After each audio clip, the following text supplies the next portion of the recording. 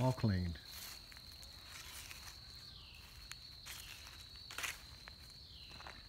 Everything that needed to come out has come out.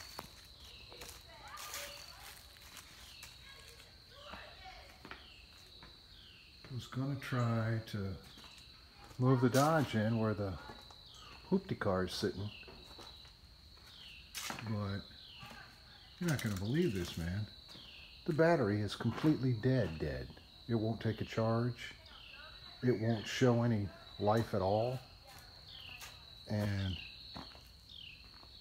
I know I didn't leave the key on because I always forget to push the fuel in to cut it off. And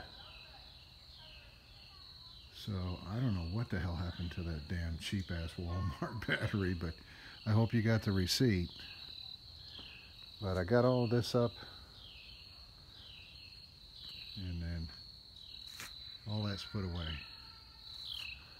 And when I bring the, the Chrysler in, I'm going to put it up on blocks too so we don't have to worry about the air. Laters.